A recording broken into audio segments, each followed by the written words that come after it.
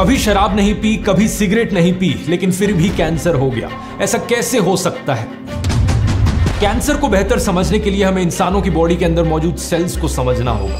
हर दिन 330 billion sales हमारी body के अंदर मरते हैं और नए जन्म लेते हैं। जब युवराज सिंह को कैंसर हुआ, संजय दत्त को कैंसर हुआ तो कीमोथेरेपी कराते वक्त भी वो एक्सरसाइज कर रहे थे। इस लेवल का डेडिकेशन होना ज़रूरी है कैंसर से लड़ने के लिए। दुनिया भर में करीब 42 परसेंट कैंसर के केसेस प्रिवेंटेबल हैं। और ये वो पाँच चीज़ें हैं जो आपको करनी है अगर आपको कैंसर से बचना है नमस्कार दोस्तों कैंसर एक ऐसी बीमारी है जिसका डर लोगों को शायद से सबसे ज़्यादा सताता है। क्वीन फ़िल्म में एक बड़ा जाना माना डायलॉग था जहाँ पर लीड कैरेक्टर रानी कहती हैं। गुप्ता अंकल को ना कैंसर हो गया। उन्होंने कभी शराब नहीं पी सिगरेट नहीं पी, फिर भी कैंसर हो गया। इससे अच्छा तो पी लेते। गुप्ता अंकल ने कभी शराब सिगरेट नहीं पी, लेकिन फिर भी उन्हें कैंसर हो गया। इससे अच्छा तो वो पी ही लेते। ऑब्वियसली एक कॉमेडी सीन था, लेकिन बहुत से लोगों के दिमाग में यही बात एक्चुअली में होती है। कई लोग किसी ऐसे इंसान को ज़रूर जानते हैं, जिसने अपनी पूरी ज़िंदगी में ना कभी शराब पी, ना कभी स्मोक किया, लेकिन फिर भी उसे कैंसर हो गया। ऐसा कैसे हो सकता है? दूसरी तरफ़ ऐसे भी कई इंसान है, जिन्होंने ज़िंदगी भर स्मोक किया, शराब पी, लेकिन फिर भी उन्हें कैंसर नहीं हुआ। सच बात यह है दोस्तों कि कैंसर अपने आप में एक बड़ा कॉम्प्लेक्स टॉपिक है। इस बात में कोई डाउट नहीं कि अल्कोहल पीने से सात अलग अलग टाइप के कैंसर के रिस्क बढ़ते हैं। जैसे कि liver cancer breast cancer oesophagus cancer और स्मोकिंग से lung cancer mouth cancer throat cancer और पैनक्रियाटिक कैंसर जैसे 16 अलग अलग कैंसर टाइप्स का रिस्क बढ़ता है। लेकिन कैंसर सिर्फ़ 16 प्रकार के नहीं होते, बल्कि 200 से ज़्यादा अलग अलग टाइप के कैंसर होते हैं डिपेंडिंग अपॉन ये हमारे शरीर में कहाँ से स्टार्ट होता है। तो एल्कोहल और स्मोकिंग डेफिनेटली दो बड़े कारण है कैंसर के पीछे, लेकिन इसके अलावा भी कैंसर के बहुत से कारण हैं। क्या है ये कारण जिन्हें हटाकर आप अपने कैंसर होने का रिस्क कम कर सकते हो? एग्जैक्टली exactly ये बीमारी कैसे काम करती है और क्यों इंसानों के लिए इतनी हानिकारक होती है? आज के इस वीडियो में आइए कैंसर को गहराई से समझते हैं।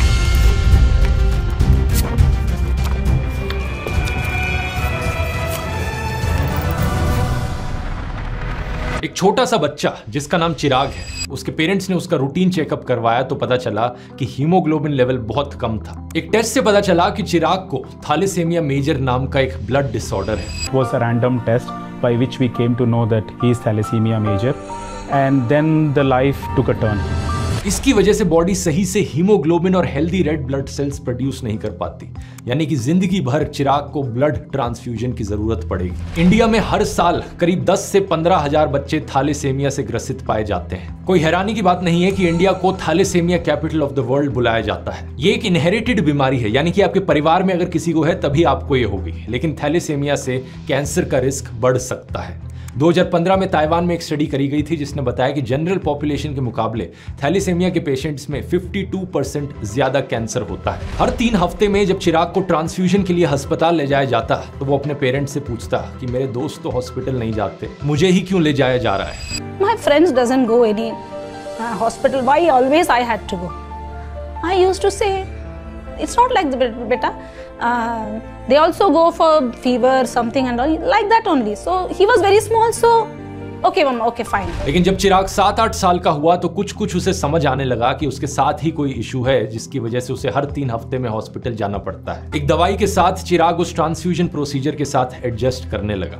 जब आईवी की लाइन उसे चुभती तो वो रोता भी नहीं था, लेकिन दर्द पेरेंट्स को होता था। फिर एक दिन एक डॉक्टर ने उन्हें एक डीकेएमएस के बारे में बताया, जो स्टेम सेल रजिस्ट्री है। अब कैंसर को समझने के लिए दोस्तों स्टेम सेल्स को समझना बहुत ज़रूरी है, क्योंकि स्टेम सेल्स और कैंसर का एक बहुत बड़ा लिंक है। क्या होते हैं ये स्टेम सेल्स आप इनके नाम से थोड़ा अंदाज़ा लगा सकते हो। स्टेम सेल्स ऐसे सेल्स जिनसे दूसरे सेल्स बनते हैं, ये खुद को अलग अलग प्रकार के सेल्स में बदल सकते हैं। इसके साथ साथ स्टेम सेल्स खुद को रेप्लिकेट भी कर सकते हैं। यही वो सेल्स हैं जिनसे ब्लड सेल्स बनते हैं स्किन सेल्स बनते हैं मसल सेल्स बनते हैं। यही सेल्स डैमेज टिश्यू को रिपेयर भी कर सकते हैं और इसीलिए ब्लड कैंसर और ब्लड डिसऑर्डर के इलाज के लिए स्टेम सेल्स बहुत ही आवश्यक है। प्रेगनेंसी की शुरुआत में जब एक फर्टिलाइज एग ब्लास्टोसिस्ट बनता है, एक बहुत ही अर्ली स्टेज एम्ब्रियो की बच्चे बनने से पहले तो ब्लास्टोसिस्ट के अंदर जो स्टेम सेल्स पाए जाते हैं, उन्हें एम्ब्रियोनिक स्टेम सेल्स कहा जाता है। और ये ऐसे सेल होते हैं जो बॉडी के किसी भी सेल का रूप ले सकते हैं। लेकिन अनफॉर्चुनेटली जब इंसान बड़े होते हैं एडल्ट ह्यूमंस में कोई भी ऐसे स्टेम सेल नहीं होते जो किसी भी तरह के सेल में बदल सकते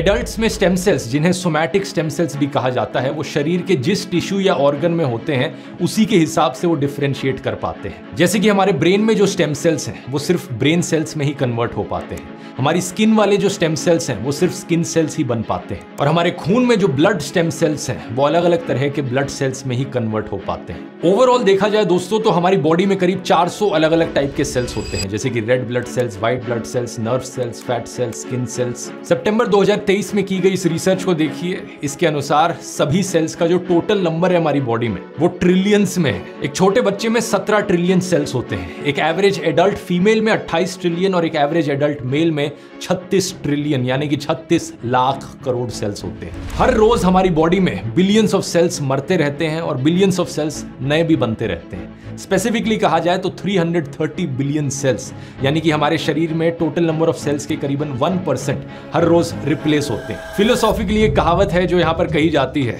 कि आप आज सुबह जो इंसान थे, अभी शाम को आप वो इंसान नहीं हो। आप पल पल बदलते रहते हो एक नदी की तरह। ये बात हमारी बॉडी के कॉन्टेक्स्ट में लिटरली भी सच है। और ये पल पल बदलना सेल्स का दिन प्रतिदिन रीजनरेट होना, ये काम स्टेम सेल्स के द्वारा किया जाता है। अलग अलग टिश्यूज में जो रीजनरेशन होता है, उस टिश्यू के स्टेम सेल के द्वारा किया जाता है। लेकिन इस सब में एक ऑर्गन हमारी बॉडी का बहुत ही अनोखा है, हमारी लिवर।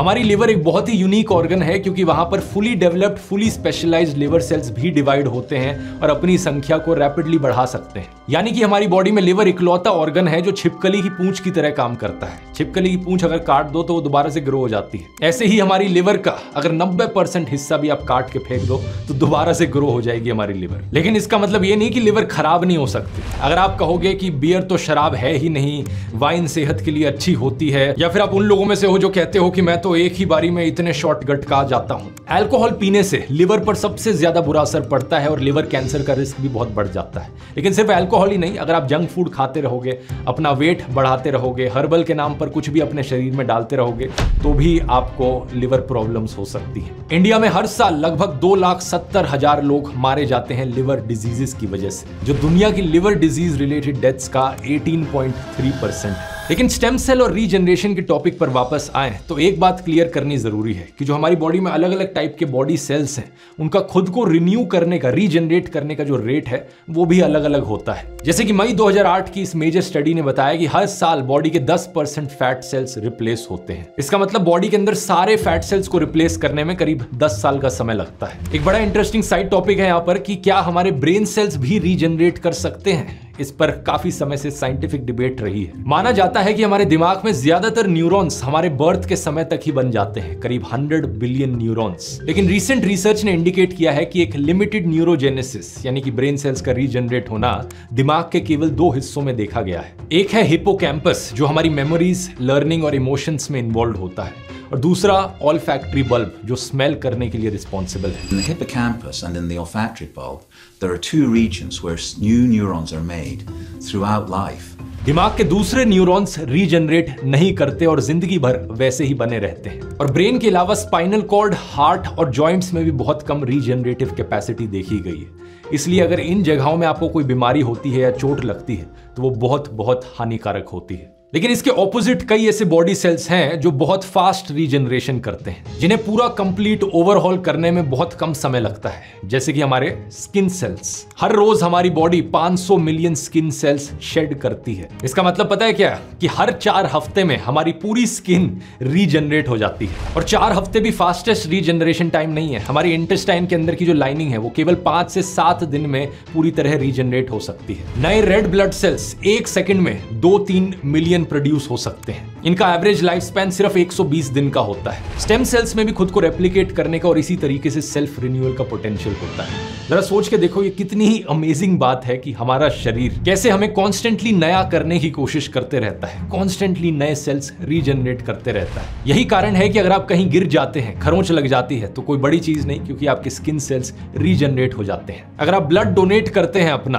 तो ब्लड वॉल्यूम यानी कि प्लाज्मा केवल 24 घंटे में रिस्टोर हो जाता है। जितने ही रेड ब्लड सेल्स आपने किसी और को दिए, चार से छह हफ़्ते में वो वापस आ जाते हैं। ये पूरा मामला है रिप्लेनिशमेंट का रिपेयर का और रीजनरेशन का। लेकिन अगर ऐसा हो कि किसी सेल में जीन डैमेज हो जाए तो क्या होगा? अगर आपको याद हो एवोल्यूशन वाले वीडियो में मैंने समझाया था कि डीएनए जीन्स और जीन म्यूटेशन क्या होती हैं। जीन को एक तरह से प्रोग्राम की तरह समझ सकते हो, जिनमें डिटेल्ड सेट ऑफ़ इंस्ट्रक्शंस होती हैं सेल के लिए। अगर सेल्स की जीन्स में कुछ बदलाव आ जाता है या कोई एरर आ जाता है तो इसे म्यूटेशन कहा जाता है। और इसकी वजह से सेल ग्रोथ डिस्टर्ब हो सकती है। ऐसी सिचुएशन के लिए हमारी बॉडी के पास कुछ ऑप्शंस अवेलेबल होते हैं। कुछ मैकेनिज्म्स हमारी बॉडी के अंदर जो जीन डैमेज के खिलाफ फाइट करते हैं। जैसे कि P53 ट्यूमर सप्रेसर जीन ये एक सिक्योरिटी गार्ड की तरह ये वाली जीन जो प्रोटीन प्रोड्यूस करती है, वो डैमेज जीन को रिपेयर करने का काम कर सकता है। इसी तरीके से एक जीन होती है जो फ़िल्टर की तरह काम करती है। अगर कोई सेल बहुत पुराना या डैमेज्ड हो जाए तो जीन उसे मरने की इंस्ट्रक्शन दे देती है।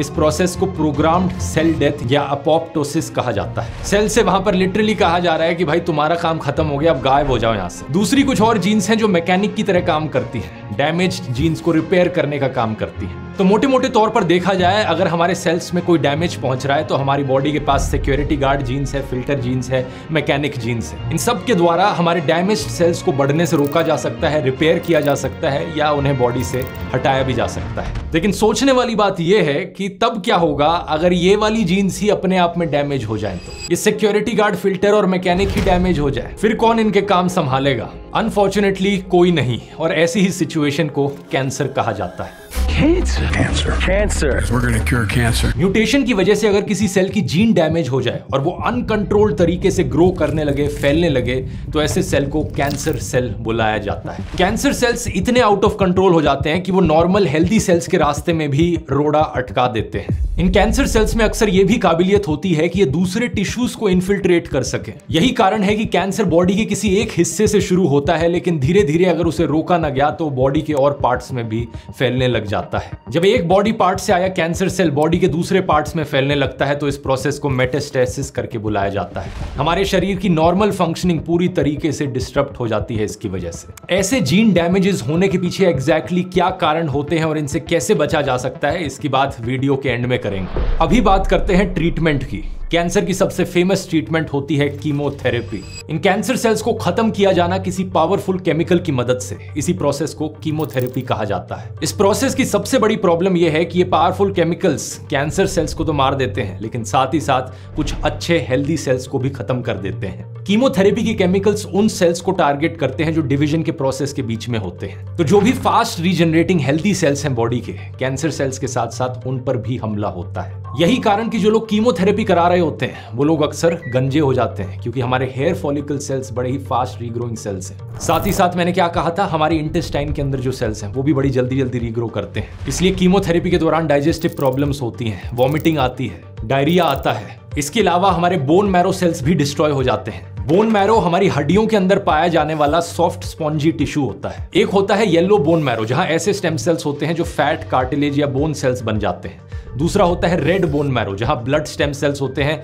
जो red blood cells white blood cells या प्लेटिलेट्स बन जाते हैं। तो क्योंकि मैंने कहा था हमारे ब्लड सेल्स भी बड़े फास्ट रीग्रोइंग सेल्स हैं तो कीमोथेरेपी की वजह से ये भी डैमेज हो जाते हैं। रेड ब्लड सेल्स की कमी की वजह से एनीमिया हो सकता है। हीमोग्लोबिन लेवल अक्सर नीचे गिर जाता है। प्लेटिलेट्स जो होते हैं, वो ब्लड क्लॉटिंग में मदद करते हैं। जब हमें चोट लगती है, कहीं पे वुंड आता है तो ये आकर उस वुंड को हील करते हैं। लेकिन अगर ये कम होंगे तो एक्सेसिव ब्लीडिंग होगी वुंड में। व्हाइट ब्लड सेल्स हमारी इम्यूनिटी में मदद करते हैं। अगर हमें सर्दी, जुकाम हो गया तो उससे फाइट बैक करते हैं वो। लेकिन कीमोथेरेपी की वजह से अगर व्हाइट ब्लड सेल्स कम होंगे तो बाकी और बीमारियों के होने के चांस भी बढ़ जाते हैं। इसलिए डॉक्टर सजेस्ट करते हैं कीमोथेरेपी के दौरान बैलेंस्ड, न्यूट्रिशियस डाइट होनी चाहिए।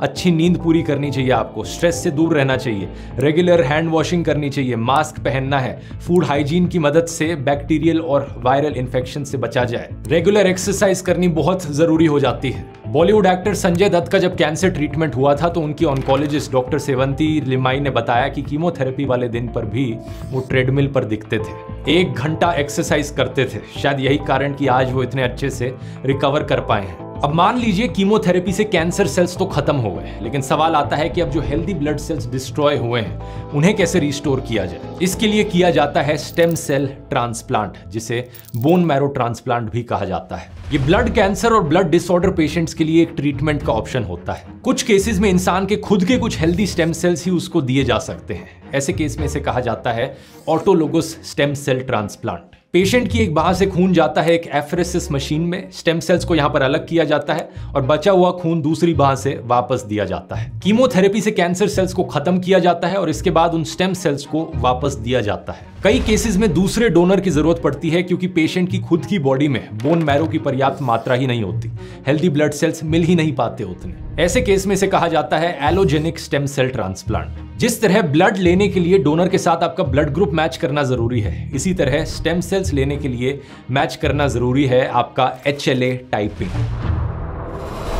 इसका फुल फॉर्म होता है ह्यूमन ल्यूकोसाइट एंटीजन टाइपिंग ज़्यादा डिटेल्स में जाए बिना ये जान लीजिए कि H L A immune system का एक इंपॉर्टेंट हिस्सा होता है। आपके भाई या बहन के साथ आपका H L A typing perfectly match करे, इसकी प्रोबेबिलिटी 25% होती है। आपके पेरेंट्स के साथ ये कभी मैच नहीं कर सकता, क्योंकि एक हिस्सा आपके एक साइड के पेरेंट्स से आता है, दूसरा हिस्सा दूसरी साइड के पेरेंट्स से। तो अगर भाई बहन के साथ कोई मैच ना निकले तो किसी अनरिलेटेड इंसान से आपको एचएलए टाइप मैच कराना होता है, और ये परफेक्ट मैच होने का चांस बहुत बहुत कम हो जाता है। एक लाख में से एक।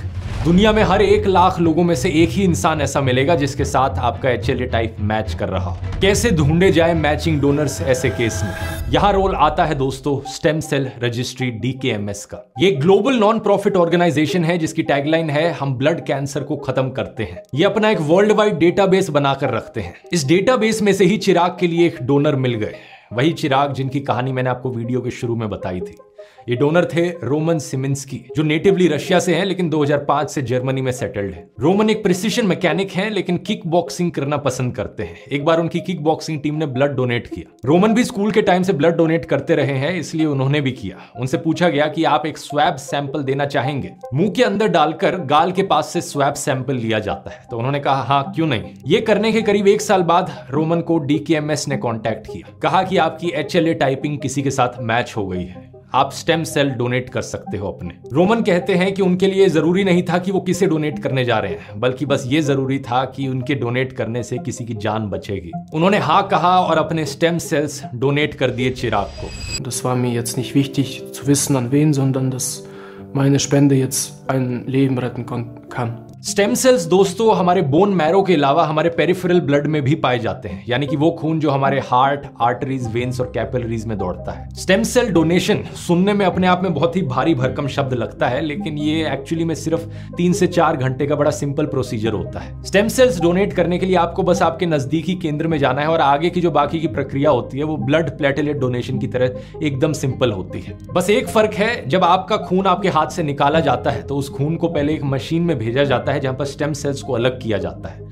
और फिर वही खून शरीर में आपके वापस भेज दिया जाता है। बेसिकली आपके ब्लड से सिर्फ़ स्टेम सेल्स निकाले जाते हैं और जो बाकी खून होता है वो वापस आपकी बॉडी में आ जाता है। इस प्रोसेस को पीबीएससी कहा जाता है peripheral blood stem cell method और जैसा हम जानते ही हैं स्टेम सेल्स खुद से रीजनरेट कर सकते हैं तो कुछ ही टाइम बाद बॉडी आराम से स्टेम सेल्स को रीजनरेट कर भी लेती है। कुछ इसी तरह रोमन ने स्टेम सेल डोनेशन के ज़रिए चिराग की जान बचाई। चिराग पूरी तरीके से हेल्दी हो सका। चिराग ने ठीक होने के बाद रोमन को एक लेटर लिखा, जिसे पढ़कर रोमन और उनकी वाइफ की आँखों में आँसू आ गए Ähm, als der erste Brief von Chirac ankam, waren wir alle überwältigt.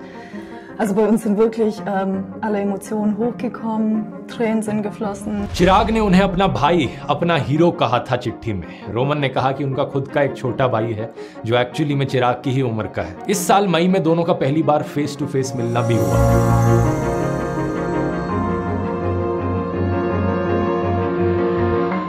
ठीक इसी तरीके से आप भी किसी की जान बचा सकते हैं, दोस्तों। आप भी किसी के लिए एक देवदूत बन सकते हैं। वीडियो देखने वाले सभी व्यूअर्स अगर रजिस्टर करें तो हम ब्लड कैंसर को एक कड़ी टक्कर दे सकते हैं। मैं उम्मीद करूँगा आप में से किसी को भी ब्लड कैंसर या ब्लड डिसऑर्डर नहीं है और ना ही कभी हो, लेकिन फिर भी आप अपना एचएलए टाइपिंग पता कर सकते हैं और इसे पता करके रखेंगे तो अच्छी बात है। डिस्क्रिप्शन और पिंड कॉमेंट में जो लिंक है, उस पर क्लिक करना है और एक ऑनलाइन फॉर्म आएगा। उस फॉर्म में आपको बेसिक डिटेल्स भरनी होंगी, जैसे कि आपका नाम, आपकी उम्र, आपका एड्रेस रजिस्टर करने के कुछ ही दिनों बाद आपके घर में एक बिल्कुल फ्री एक स्वैप किट आ जाएगी। इस स्वैप किट में आपको मिलेंगे तीन clean sterilise buccal swabs buccal swab envelope consent form और एक इंस्ट्रक्शन शीट इस इंस्ट्रक्शन शीट में दी गई इंस्ट्रक्शंस को फॉलो करके आपको अपना स्वैब सैंपल लेना है। आपको बेसिकली अपने चीक में डालना होगा। इस सैंपल को साइन किए गए कंसेंट फॉर्म के साथ उसी किट में दिए गए एनवेलप में बंद कीजिए और इस एनवेलप को स्क्रीन पर दिखाए गए तरीकों से रिवर्स पिकअप रिक्वेस्ट कीजिए। फिर आपके सैंपल का इस्तेमाल करके आपका एच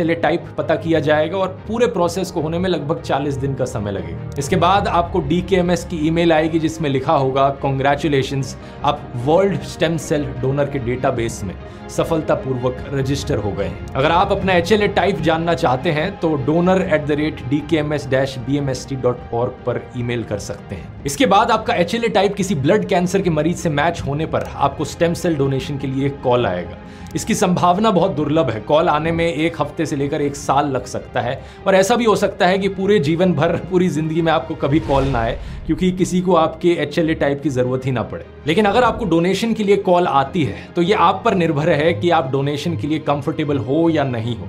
ये एक वॉलेंटरी प्रोसेस है। उस मोमेंट में आप डिसाइड कर सकते हो कि आपको अपने स्टेम सेल्स डोनेट करने हैं या नहीं करने। लेकिन पूरा प्रोसेस कंप्लीटली फ्री है। आपको कोई खर्चा उठाने की ज़रूरत नहीं। इसका खर्चा D K M S N G O उठा रहा है। अब आते हैं जीन डैमेज के कारणों पर। आखिर क्या कारण है कि कुछ सेल्स में इस तरीके का जीन डैमेज हो जाता है? तीन मेन कारण बताए जाते हैं। सबसे पहला है इनहेरिटेड म्यूटेशन कि आप म्यूटेटेड जीन के साथ ही पैदा हुए हो। ऐसा यूजुअली तब होता है जब आपने अपने पेरेंट्स से इस डैमेज्ड जीन को इनहेरिट किया हो। कुछ केसेस में तब भी हो सकता है जब आप एम्ब्रियो थे और वहाँ पर ये म्यूटेटेड जीन डेवलप हो गया। दुनिया में टोटल कैंसर केसेस में से लगभग पाँच से दस percent cancer cases inherited mutated genes की वजह से होते हैं। यानी कि बचपन से ही ये जीन्स आपके अंदर होती है। दूसरा कारण है एज आपकी उम्र के साथ साथ जीन्स वेयर आउट होने लग जाती हैं। इसलिए ज़्यादा उम्र के लोगों में ज़्यादा कैंसर के केसेस देखने को मिलते हैं। कैंसर रिसर्च यूके की इस रिपोर्ट को देखिए। 2017 से 2019 तक जो कैंसर के केसेस देखे गए, उनमें से 90 परसेंट केसेस 50 साल या इससे ज़्यादा उम्र के लोगों में थे। उम्र के हिसाब से एक लाख लोगों में से कितने लोगों को कैंसर होगा? ये इंसिडेंस भी आप इस ग्राफ में देख सकते हैं कि कैसे कर्व ऊपर जा रहा है और मैक्सिमम इंसिडेंस 85 टू 89 ईयर्स वाले इंटरवल में देखने को मिलता है। यानी 80-90 साल की उम्र में सबसे ज़्यादा चांस होता है कैंसर होने का। ऐसा इसलिए है क्योंकि जीन डैमेज समय के साथ साथ बिल्डअप होता रहा है। या तो आपकी यंग एज में ही डेथ हो गई डेंगू या मलेरिया की वजह से, या फिर आप इतनी लंबी उम्र जिए कि आप एक कैंसर पेशेंट बन गए।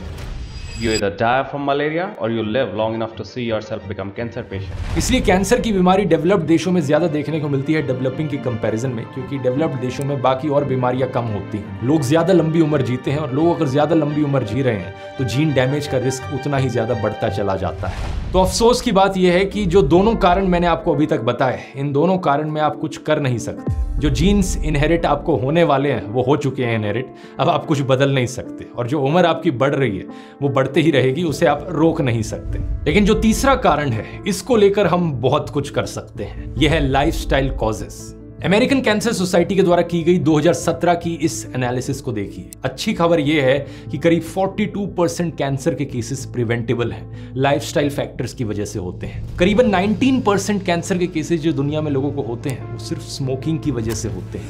5.6 परसेंट एल्कोहल की वजह से होते हैं। तो ये बात तो बड़ी क्लियर है कि सबसे पहले एल्कोहल और स्मोकिंग बिल्कुल भी नहीं करनी चाहिए। दूसरा, अगर आप ओवरवेट हैं या ओबीस हैं तो अपने वेट को सही जोन में लाइए, क्योंकि ये देखिए 7.8 परसेंट कैंसर के केसेस होते हैं ओबिसिटी की वजह से। अपना वज़न कैसे कम करना है, इसको लेकर अगर आप डिटेल्ड साइंटिफिक गाइड चाहते हैं तो मैंने ये वीडियो बनाया है, बहुत ही डिटेल्ड स्टेप बाय स्टेप जिसमें बताया है कि एग्जैक्टली ये कैसे किया जा सकता है। तीसरा यूवी रेडिएशन करीब 4.7 परसेंट केसेस यूवी रेडिएशन की वजह से होते हैं। सूरज की हार्मफुल अल्ट्रावायलेट रेज दोपहर के समय अपनी वेदर ऐप में देखा करो कि यूवी इंडेक्स कितना है। अगर यूवी इंडेक्स फाइव से ऊपर है तो अल्ट्रा वायलेट रेज बहुत डैमेजिंग हो सकती हैं आपकी स्किन के लिए। वही अल्ट्रा वायलेट रेज आपके स्किन को पेनिट्रेट करके आपके डीएनए को डैमेज करती हैं जीन्स डैमेज करती हैं, जिसकी वजह से स्किन कैंसर होता है। बार बार सन की वजह से टैन होना या सनबर्न होना इसी का ही एक इंडिकेशन है और ये बड़ी खतरनाक चीज़ होती है। इसे अवॉइड करने के दो तरीके हैं। पहला तो ये कि सुबह के 10 बजे से लेकर दोपहर के 4 बजे तक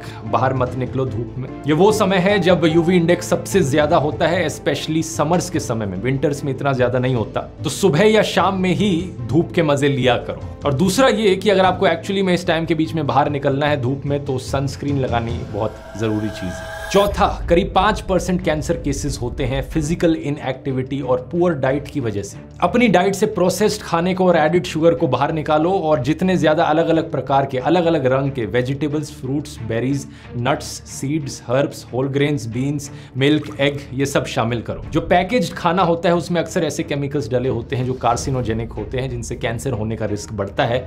लेकिन अक्सर ये चीज़ें काफ़ी टाइम बाद ही पता चलती हैं। जैसे कि ब्रेड वाले वीडियो में मैंने बताया था कि पोटेशियम ब्रोमेट एक बड़ा ही फ़ेमस एडिटिव जो ब्रेड में डाला जाता था। बहुत समय तक उसे इस्तेमाल किया जाता था दुनिया भर में और सिर्फ़ पिछले 10-20 सालों में ही पता चला कि एक्चुअली में तो ये कार्सिनोजेनिक है। ब्रेड बनाने वाली कंपनीज़ ने कहा कि अब से हम ये नहीं डालेंगे। लेकिन अभी तक जो आपने खाया, उसका क्या? तमिलनाडु और गोवा के बाद अब कर्नाटका ने आर्टिफिशियल फ़ूड कलरिंग पर बैन लगाया है। देखा गया कि कबाब में सनसेट येलो और कार्मोसिन कलरिंग डाली जा रही थी। सनसेट येलो एफ़ एक ऐसा केमिकल है जिसका अगर यूरोपियन यूनियन में इस्तेमाल किया गया तो लेबल लगाना पड़ता है उस पैकेट पर कि बच्चों से रिलेटेड यहाँ पर हेल्थ वार्निंग है। सीएसपीआई की वेबसाइट पर आपको ऐसे केमिकल्स की लंबी लिस्ट मिल जाएगी जो पहले परमिटेड थे, लेकिन उसके बाद यूएसए के द्वारा बैन कर दिए गए। जैसे 2018 में स्टायरीन मायरसिन बेंजोफिन को बैन किया गया। इसलिए सेफेस्ट ऑप्शन यही है कि पैकेज्ड खाना मत खाओ नेचुरल खाना खाओ फ्रेश खाना खाओ और लोकल खाओ। फ़िज़िकल एक्टिविटी एक्टिव लाइफस्टाइल रखना काफ़ी ज़रूरी है। रेगुलर एक्सरसाइज करते रहो, जिसमें स्ट्रेचिंग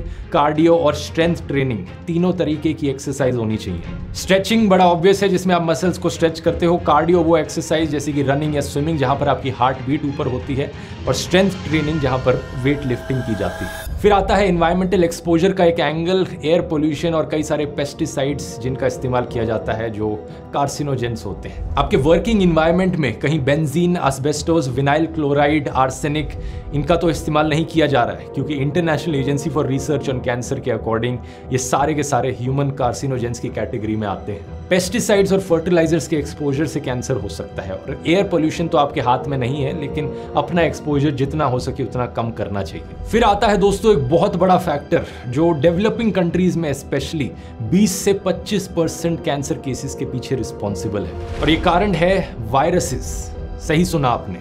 अलग अलग प्रकार के वायरसेस भी कैंसर का कारण बन सकते हैं। जैसे कि हेपेटाइटिस बी का वायरस हेपेटाइटिस सी का virus HIV virus human herpes virus human T lymphotropic virus Merkel cell polyoma virus HPV virus इनसे बचने का एक बड़ा सिंपल सोल्यूशन है जो वैक्सीन डॉक्टर के द्वारा रिकमेंड की जाती है। उन्हें लेना ज़रूरी है। हेपेटाइटिस बी की वैक्सीन लगवाइए। हेपेटाइटिस सी की वैक्सीन लगवाइए। अक्सर ये वैक्सीन बचपन में ही लग जाती हैं लोगों को।